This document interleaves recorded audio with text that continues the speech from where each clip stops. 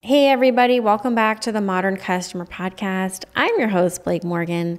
Today, we're talking about all things AI with author Orly Lobel. She is the author of a few books, including her newest, The Equality Machine Harnessing Digital Technology for a Brighter, More Inclusive Future. She is a Warren Distinguished Professor at University of San Diego, and she's a former Israeli military data analyst and Supreme Court clerk. She regularly consults governments and industry on law and technology. Today, we're talking about AI, technology, automation, and customer experience, broader society, and so much more. Please enjoy Orly Lobel.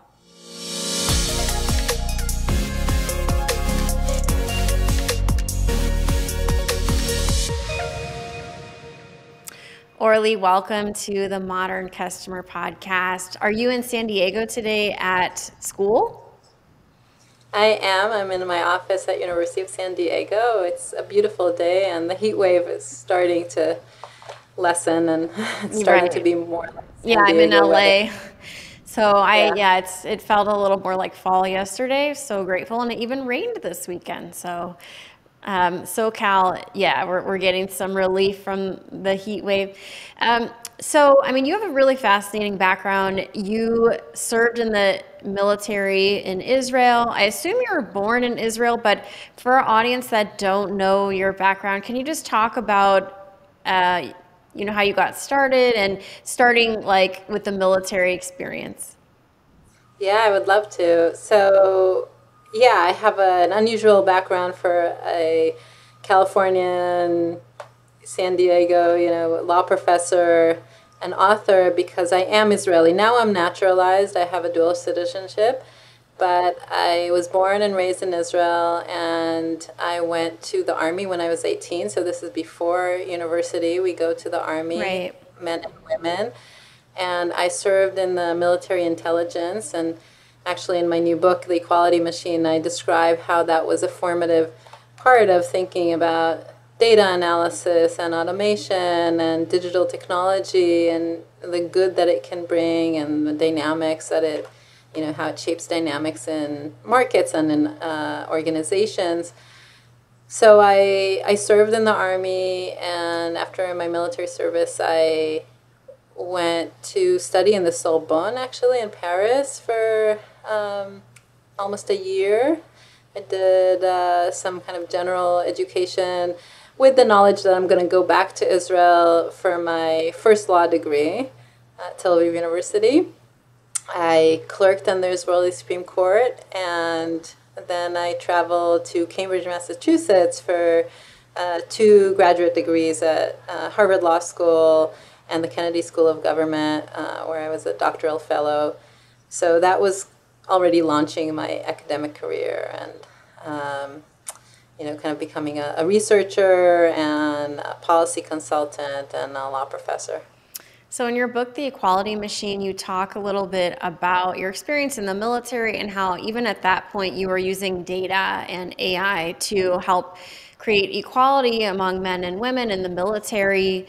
So, was that the starting point of this interest in how technology can be used to help push equality forward? I think it really was. I didn't think about it in the terms that I think about it these days. I it was I was kind of living through that moment where you know we were getting more comfortable with personal computers and with um, intranet. Um, it really wasn't the internet yet. It was the intranet, which of course was invented by the military, both in the you know the American and Israeli uh, military units uh, around the world. Um, and I saw, you know, one of the things that I saw, which was really formative, was that when I was serving in the army, it was very gender unequal.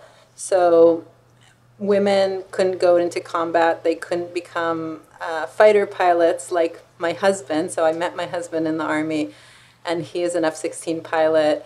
So at that point, it was really, there was this kind of sexist slogan of like the good men to the Air Force, the good women to the pilots, you know, dating the pilots.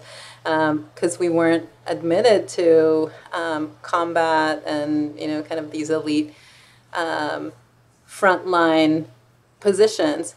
But really, the only place that we could be in a more gender equal position was in the military intelligence. And I was selected to a very elite um, unit within the intelligence community. And it really kind of opened up, you know, suddenly when you, when really your tools are knowledge, t- digital technology, communications, interactions, processing of a lot of different sources and resources, and making sense of things, then suddenly you know your physicality is less important, uh, your gender is less important, and it uh, it has kind of that democ- democratization, the you know kind of great equalizer quality of technology in in our interactions. So we have to step back. When we think about business, Orly, there is a lot of talk about inherent bias and so many of the decisions coming out of Silicon Valley, they impact so many people who are making those decisions. What is the inherent bias in the technology? What do we need to be aware of with AI? Can you just talk about some of the challenges that we're facing now, just as a society, with the growth of AI? Sure. So AI is really affecting every single aspect of our life. Um, and, in my my book that's coming out in October, it's uh, really kind of this broad investigation of every aspect of our from our intimate relations like dating and our um, family lives and our romantic and care, you know, personal care um, interactions with AI, all the way to markets and financial services and consumer services and credit and um, and and of course employment and you know how AI is affecting hiring and performance evaluation and pay. Um, so every aspect we, we know this. I think there's kind of that sense that it's it's happening rapidly. It's changing who we are, how we exchange, uh, how we know, how we um, manage our health and our um, relationship, our consumption. And yet, there's a lot of fear and irrationalities around, um, you know, what it's doing, and uh, some of it are rational fears, uh, most certainly. So you mentioned bias. You know, there's there is this overarching fear that uh, AI and algorithmic decision making will be biased and has been biased in various contexts. And in the equality machine, I, I work through that. I really kind of investigate when is that true? When can we trust AI? Um, and then, even more than that, I argue that we need to step beyond just the debiasing, you know, making sure that it's unbiased, but really looking at its potential to create more equality and more inclusion and uh, more diversity in different settings when we really direct the the program, the um, the algorithm, in ways that fit our values. So, a lot of the people listening and watching this podcast, they're business people. They're interested in customer experience. They run customer loyalty programs, customer service. What are some of the challenges for big business when we think of automation and AI? So there's so much to think about, and I'm really fascinated by you know, the whole field. So I actually collaborate with um, a lot of marketing professors and consumer behavior and judgment and decision making um, scholars. So uh, I write in this field of behavioral policy and you know how do we think about customer service. I also uh, am an academic consultant to a major um, publicly traded platform, online platform that thinks about customer service and content moderation and how to get it right with um, the products, the, the exchanges. So I think about all of these aspects a lot. And I think um, with automation, again, there's kind of the, the risks. You know, there's the things that we have to think about in the risk bucket of what can go wrong, what we need to avoid. But also, there's a lot of promise and opportunity that needs to be leveraged. Um, and yeah, I mean, Blake, tell me what you, you think. You know, what, what, what are you seeing as some of those risks and opportunities? Well, obviously, for people that are processing a lot of customers through one experience, when the experience is not personalized, that's a problem. If the experience is too personalized, that can be a problem because then customers don't feel comfortable. Like, what is my being data? What is my data being used for? There's so much dysfunction in customer service. We know that because many of our listeners and viewers have had a terrible customer service experience in the last few days. So I think technology gone wrong, wrong, used too much when we actually need a person, or um, technology, when it's put to good use, can really help just with stress of people, of individuals. So that that's really my lens. So what is the right balance? And that seems to be like what a lot of people are struggling with in business, the balance of technology and human. Yeah, no, that's a great um, framing to think about it. And I actually think about privacy a lot. I have uh, also scholarly work um, that I, looks into this question of you know what do we really value as consumers uh, in terms of privacy and you know as behavioralists we we see a lot of empirical research about the paradox of privacy where there is like a lot of this overarching fear of as you said that we don't want to give up too much personal data personal information we think that there is this um, diminishing privacy in the market. But at the same time, we do want the personalization. We do want the customization, the kind of the tailoring of services uh, that, that will fit our preferences and our needs. And it turns out that empirically, people are quite comfortable giving up a lot of their privacy if they feel like they're going to get a benefit from it. Um, and even more than that, uh, I show in the equality machine that a lot of times when we are overprotective of personal information, we're actually hurting the people who are less on the radar of consumer um, kind of marketing, consumer service um, professionals because there, there are people, there are communities that are more on the edge of data. Mm-hmm. So they haven't been in the system as much, either because they have less access or they are by definition a minority. And if we're not collecting more information about them, we really won't be able to cater to some of their needs or check for biases that we're not, you know, um, just you know having this one um, paradigmatic idea of what our customer looks like and needs and, and feels and, and mm-hmm. wants. Um, so I think that even with the data collection, there should be a balance on, on that front. And I, I look a lot, I mean, in a lot of contexts, I look at how do we do that balance in a way that is really serving us and serving our normative values without creating the risks of you know misuse of information. So actually, I've been arguing that we need to think more about um, appropriate use versus misuse rather than to collect or not to collect. You know, to know or not to know. Um, so that's that's one thing that I think is a good way to reframe sometimes the mm-hmm. these questions of you know are, are we intruding on on people's personal information when we're trying to customize our product or our service.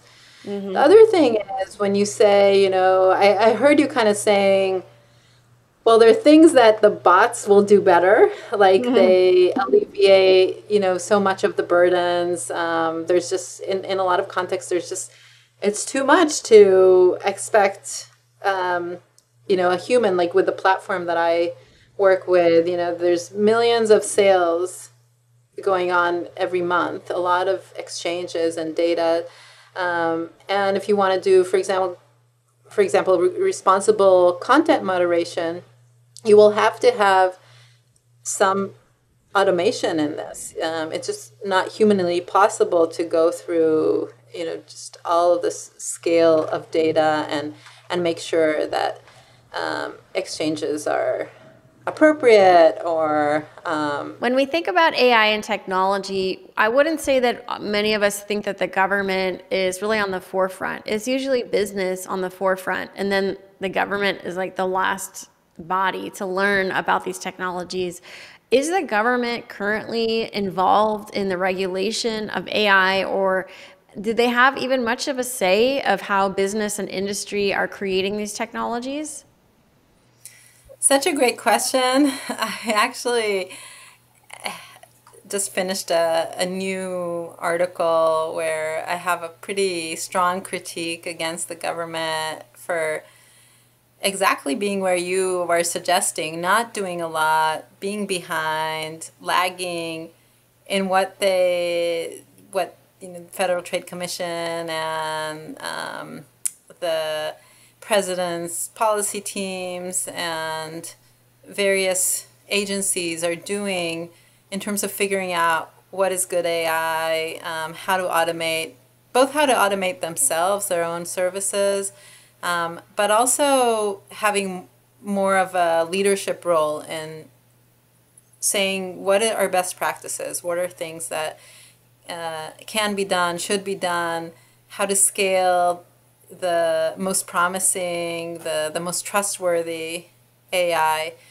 Um, what we really see these days is more of this protective stance of this is both true, by the way, in California at the federal level, um, here in the United States, and also um, at the EU level, where the kind of the discourse about AI and also the, the policies that we see focus more on um, let's safeguard against biases, let's safeguard against too much automation. So let's keep a human decision maker. Let's make sure that you know we're not completely automating, um, and let's safeguard against privacy. Those are probably the top three. Uh, you know, privacy human in the loop and anti discrimination um, kind of checks. Um, but there's so much more that can be done. So, you know, I think that government can really play an active role, a proactive role of investigating what are, um, you know, the technologies right now on the market that are the safest, uh, in terms of um, truth in reporting, you know, uh, getting going after misinformation, removing that. Um, what are the best practices in medicine and health, um, like uh, patient adherence to treatment. Um, you know, there's a lot of new AI that is offering that kind of thing, or wearables that are trying to create more well-being and you know the market is is so open and, and there's a lot of innovation that's happening and that's all good but we as consumers actually want some something more centralized that will tell us what what is good what is better um, what is snake oil that we should really steer away from and we don't have that right now so, one lesson from this podcast that I've taken away is really about machine learning. Something you said I found just really hit me that if the machine is learning, but it's not learning from a diverse set of individuals, the machine will learn a new um, step forward that does not consider the needs of every person, only one subset. So, I think that was really that's really interesting. So, um, I would like to get to know you a little bit better along with my audience. Are you ready for some rapid fire questions? Sure. All right, great. So, the first question is a little funny. What did you eat for breakfast today? I do intermittent fasting, Literally, so I start at noon. every guest has been saying, I'm going to have to take this question out because, like, literally every guest, like, I didn't eat breakfast. Um, uh, what is your ideal vacation? Disconnecting from my computer, but uh, I, you know, I travel so much for work for um, major cities around the world so I feel like I've seen the world that way. But my ideal vacation, which I don't get as often, is going into nature and really spending the week hiking in beautiful places. If you could have lunch with anybody dead or alive, who would it be? Ah, so many options.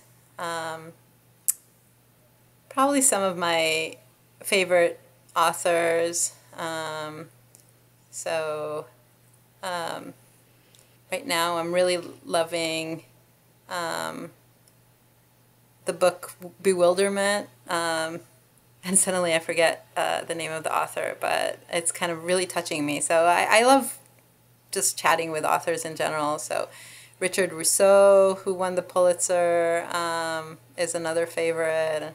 I just, if I could have lunches with people that I could just choose, I would um, have a list of all the my favorite books and have lunches with all of them. What is your idea of perfect happiness? Uh, being with my three daughters, my Labrador, my English lab, and my husband uh, in a beautiful setting near the water, and just being grateful for health and family and friends. if you had $1 billion, what would you do with it first? Uh, so much to do with a billion dollars. But in terms of causes that I um, am very much invested in, um, type 1 diabetes is probably my number one. I, um, I start The Equality Machine, my new book, with a line I have three girls. The middle one is bionic. So my middle daughter has type 1 diabetes, and she has really been benefiting from AI and medical devices that use digital technology and data uh, in a closed loop system of insulin pump plus glucose monitor. So that's, you know, all of these amazing, I have a whole chapter about health and all these amazing uh, innovations and advancement, uh, and I would really invest in that. What is one tool or resource that you picked up during COVID that you still use today?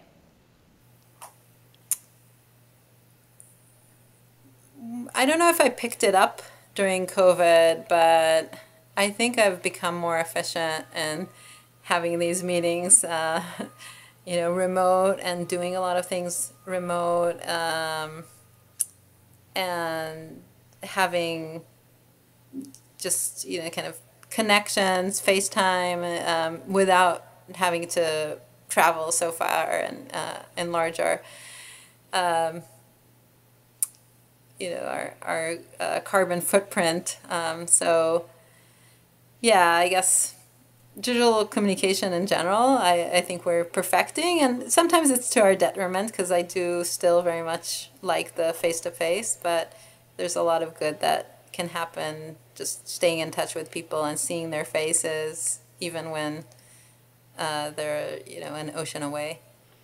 Orly, if people want to learn more about you or buy your new book, The Equality Machine, where can they do that?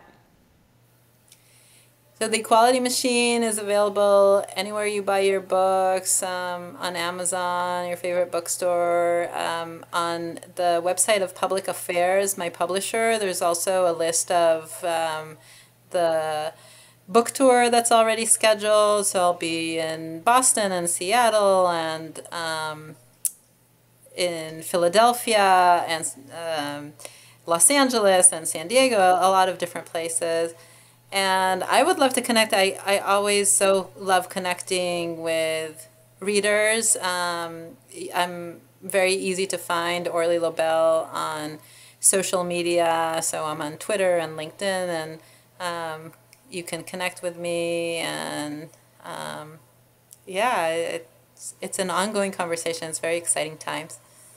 Orly, well, thank you so much for joining the Modern Customer Podcast. Everybody, pick up a copy of The Equality Machine today.